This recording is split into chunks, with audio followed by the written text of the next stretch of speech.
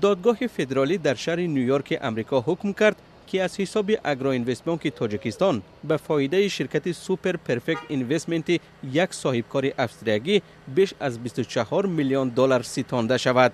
این حکم روز 25 اوگوست امسال در شهر نیویورک صادر شده است. به گفته حقوقشناسان این به این معنا است که صورت حساب اگرو اینوست بانک در سیتی بانک امریکا حبس شده مبلغ های آن به نفع شرکت Super Perfect Investment ستانده می شود معلوم نیست که اگرو اینوست بانک در این صورت حساب چقدر پول دارد. ماموریت بانک به زنگ های به تکرار خبرنگاری رادیوی آزادی در این رابطه پاسخ ندادند.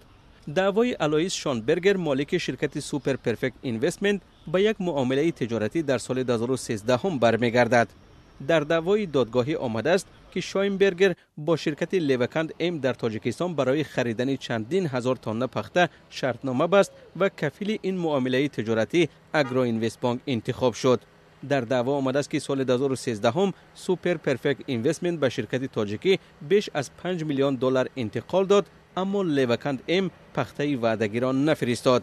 بعد اجرا نشدن قرارداد در مدت یک سال شرکت از اگرو اینوست بانک طلب کرده است که 11 میلیون دلار کفالت اجرای قرارداد را بپردازد. اما بانک از پرداختن این پول سرپیچی کرده است.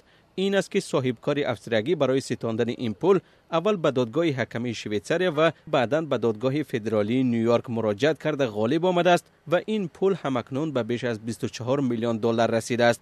ماموریت اگرو اینوست بانک به درخواست رادیوی آزادی این قضیه را شرح نداد. اما بانک با امضای رئیسش مرادعلی علی مردان در یک نامه رسمی به بانک اروپایی تجدید و رشد گفته است.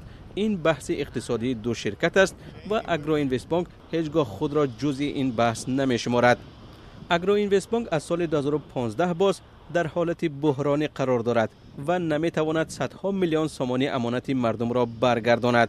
صدها مشتری این بانک سالها باز در انتظار گرفتن پسنداز خود هستند اما بانک به با آنها ماه از 200 تا 1000 سامانی می دهد و گاه پرداخت همین مبلغ هم قطع می شود سلام اگر خط و خبر می خواهید ما داره. نوید بامدادی سرخط خبرها اخبار تاجکستان و جهان گزارش ها و تحلیل ها چی می گذرد و چرا؟ دانستان فهمیدن است.